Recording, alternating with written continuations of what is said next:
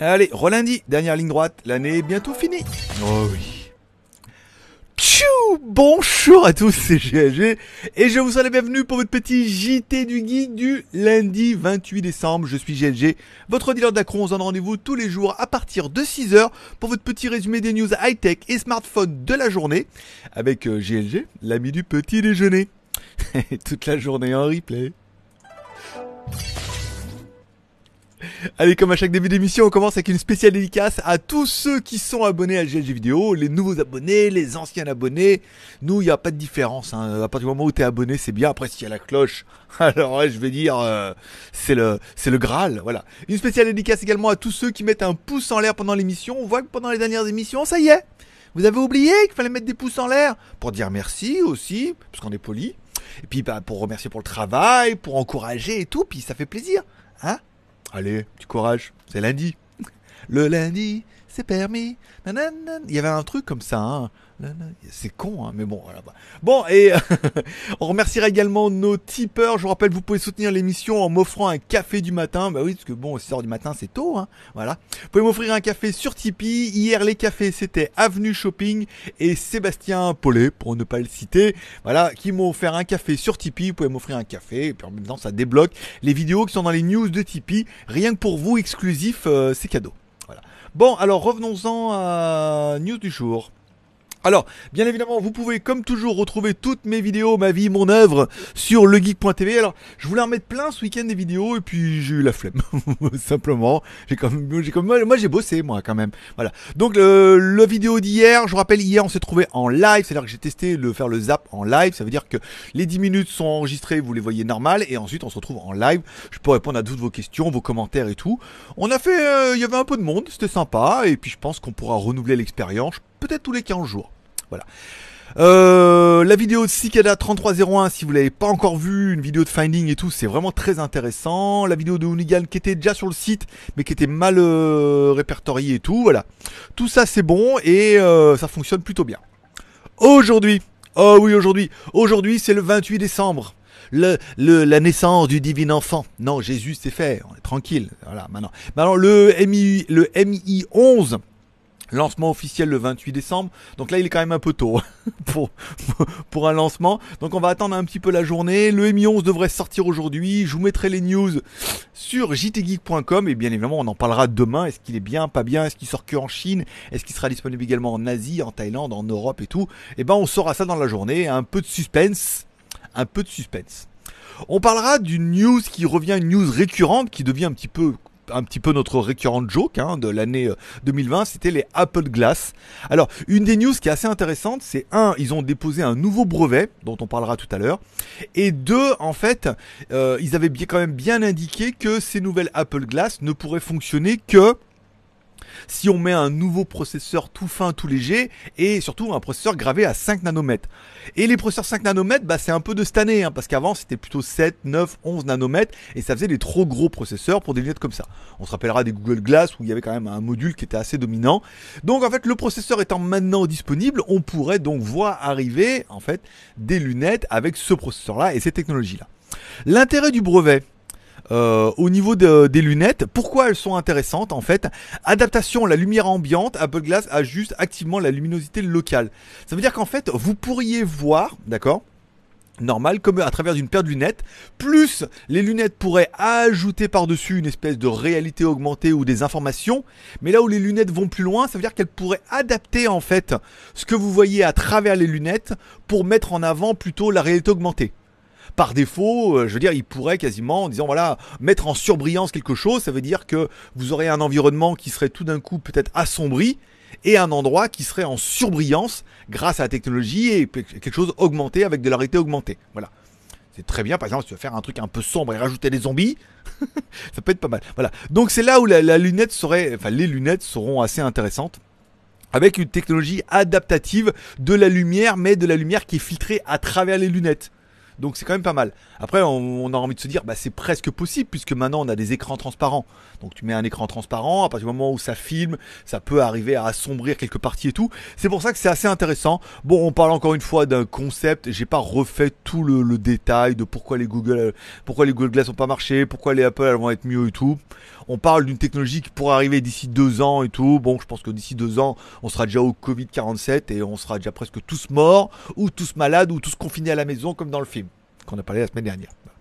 Bon, allez, on continuera dans les news un peu plus rigolotes, bien évidemment. On parlera du Vivo X60 Pro qui s'annonce bah, un petit peu malheureusement comme une évolution du Vivo X50 Pro, qu'on connaissait déjà un petit peu. Alors, le téléphone aura un écran AMOLED de 6,55 pouces, c'est pas mal. Par contre, pas de taux de rafraîchissement de la mort qui tue, qui bouffe de la batterie et que de toute façon tu mettras normal. Donc autant râler en disant oh il y est pas, j'aurais bien aimé l'avoir pour ne pas l'activer. voilà. Donc un taux à 90 Hz, un écran qui sera toujours Full HD+, en 2376 par 1080. Donc vous voyez, on n'a pas de 2K, de machin, pour un téléphone qui est quand même un peu plus récent et tout. C'est un petit peu dommage. Enfin bon, après, c'est pas très grave. Au niveau des dimensions, bah, ça a l'air d'être exactement le même que le X50, donc ça change rien. Au niveau de la batterie, on aurait une batterie de 4130 mAh, soit 4200 mAh, ce qui est moins que le X50. Le X50 qui avait une batterie de 4300 mAh. Donc vous allez me dire, 115 mAh de moins, c'est pas le drame, mais bon, quand même un petit peu. Et à savoir que ce téléphone-là sera quand même le premier processeur à avoir le nouveau processeur Samsung, l'Exynos 1080. Ce qui correspond presque à sa résolution en 1080p. ça, c'est de la blague de geek. ça, c'est la blague que le mec lui. Exynos 1080 comme sa résolution. Alors, la moitié, ils ont pas compris. Et puis les plus geeks d'entre vous ont fait. oh, elle était rigolote, celle-là, 1080 comme 1080p. voilà, bon. c'est peut-être un peu tôt le matin. pour de la blague comme ça. Bon, une charge rapide 33 watts et tout. Alors, le problème, c'est que ce nouveau Exynos 1080 peut faire beaucoup plus que le 1080p, on est d'accord. Mais il a tendance à bouffer de la batterie, hein, lui aussi, parce qu'il est plus puissant, plus véloce. Donc c'est un peu dommage d'avoir mis une batterie un peu moins d'un écran qui est, alors Full HD, moi je suis pas je trouve pas que c'est pas c'est pas nécessaire de mettre du 2K 4K pour bouffer de la batterie et du 120 Hz non plus. Donc pour moi c'est pas un point négatif. Au niveau de la caméra, on aura une caméra à l'avant de 32 millions de pixels et caméra à l'arrière, on aura 48 plus 13 plus 13 plus 8. Voilà, avec tout ça, alors apparemment, il y a pas mal de technologies qui sont un peu exclusives à ce téléphone-là. Alors la première, c'est la puce Exynos 1080. Oui, je sais, t'es encore sur la blague du bon. Eh, eh dis donc, JT Diggy qui a marqué, hein. Fallait bien, de temps en temps, hein. Voilà. Bon, euh, technologie micro head 2.0, donc ça on verra, et des lentilles optiques Zeiss nom de Zeiss. Voilà, c'est nom de Zeiss. En voilà de la photo. Marty, nom de Zeiss. bon, qu'est-ce qui lui arrive? C'est lundi, il est fatigué. Bon, et le Samsung, voilà, là, là, donc après la machine, les objectifs micro PTZ2 et Zeiss rendant les caméras de la série. Donc les caméras devraient être encore mieux. J'ai envie de te dire tant mieux. Bon, on parlera bien évidemment de la petite news, c'est que les GAFA, alors pas tous les GAFA parce qu'il n'y a pas Apple dedans, mais en fait euh, Facebook, Twitter et YouTube pourraient devenir interdits en Russie. Alors j'ai mis comme la Chine parce que je suis une petite putaclic, et en fait pas du tout. Le problème qui est reproché à Facebook, Twitter et YouTube, c'est qu'en fait, ils ne contrôlent pas bien grand chose. Alors, ils contrôlent de la merde, pour vous mettre de la pub, ça va, mais ils contrôlent pas bien leur contenu. Eux, ils partent sur le principe que, bah, en fait, c'est du libre et gratuit, tu mets du contenu, et ils ont pas, en fait, euh, de responsabilité à ce qui sera affiché ou diffusé sur leur réseau et en fait, bah, du coup, de plusieurs acteurs et tout, on a déjà vu, ils se sont déjà tapé un procès euh, en Hollande, je crois, apparemment, euh, en Irlande, ils sont déjà tapé un procès en Irlande. ce qu'on leur reproche, c'est qu'en fait, bah, du coup, ils voudraient les mettre plutôt dans la catégorie d'hébergeurs. C'est-à-dire que ton hébergeur, eh ben, euh, si tu héberges un peu des, trucs un peu chelous, eh ben, dans ce cas, on peut porter plainte et l'hébergeur doit te censurer, voire te couper le réseau. Donc ce qui est reproché un petit peu à eux aussi, c'est que euh, dans cette lutte de terrorisme, euh, Covid, euh, fausses rumeurs et tout, qui est reproché en fait à Facebook, Twitter et YouTube, encore une fois en Russie, c'est que il y a quand même pas mal de choses néfastes qui sont mises sur ces réseaux-là et qui sont pas contrôlées et qui se diffusent à une échelle quand même un petit peu internationale et tout. Donc la Russie a dit bah si vous prenez pas vos responsabilités, vous allez dégager. Alors les Gafa ont dit non, nous on est tout puissant, maître Dieu le Père.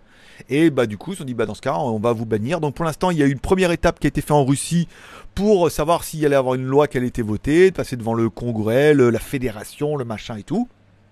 Et si ça remonte jusqu'à euh, président El Presidente, El Putin, El Presidente, et dans ce cas ils votent, et ben euh, les services pourraient être interdits dans le pays. Voilà. Nananer, ça leur apprendra, ils ont qu'à contrôler un peu ce qu'ils diffusent. Hein. Même s'ils disent que oui, ils peuvent pas tout contrôler et tout, je pense que c'est quand même un peu des usines à gaz. Ils ont, les, au moins les moyens de le faire. Financièrement, on est un peu d'accord. Euh, hier, j'ai commencé minuit dans l'univers et je me suis endormi. Alors, bon, Bon, il y a Georges Clounet, oui, c'est pas trop mal fait, oui, mais qu'est-ce que c'est long. C'est un truc qui dure deux heures, bien évidemment, il y a l'histoire avec la petite fille, nanana, lui qui est un ogre, mais la petite fille et tout, et je me suis endormi. je me suis endormi devant, parce que je, je regardais, je jouais avec la tablette et tout, et je me suis endormi. Bon, ça a pas l'air si mal que ça, mais ça a pas l'air génial non plus, quoi. Toi, c'est un peu long, l'espace, le truc, les dramas, le, le futur en 2050, euh, le Covid 42, 47, excusez-moi. Voilà. Bon, c'est pas oufissime, mais euh, ça méritera que ça se regarde. Mais je pense que si je le loupe, ça sera pas très grave. Euh, Qu'est-ce que je voulais vous dire? C'est tout, voilà. Oh, c'est pas ça que je voulais faire. Attends. Il est où mon, Instagram? Voilà. Bon, euh, c'est pas ça du tout que je voulais faire. Profil. Non. Je voulais comment ça. Voilà. Bon, comme toujours, vous pouvez me retrouver sur Instagram. Mon pseudo, c'est Greg le Geek. Voilà, vous retrouverez un peu toute ma vie, mon œuvre, les photos, les jours de l'an, la préparation de la machine à café qui sera pour vendredi. Aujourd'hui, je fais la partie sponsorisée et donc du coup après je ferai les plans. Elle tombera mercredi ou jeudi sans trop de problèmes. Vous retrouverez tous les jetés du geek. J'essaie de vous mettre un peu des stories, des histoires, des trucs incroyables, magnifiques, trop bien, trop génial. Voilà. Et ça sera tout pour aujourd'hui. Je vous remercie de passer me voir, ça m'a fait plaisir. Je donne rendez-vous demain, même heure, même endroit, à partir de 6h. pour les news high-tech de la journée. Je pense qu'il en tombera un petit peu aujourd'hui. On verra, on verra ce qui va se passer. Sinon, vous pouvez me suivre sur JT Geek, sur les réseaux sociaux. Je vous remercie de passer me voir, ça me fait plaisir. Bonne journée. Ouh, 12 minutes, pas mal. Allez, forcément, je vous kiffe. À demain, même heure, même endroit, avec GLG, l'ami du petit déjeuner. Toute la journée en replay.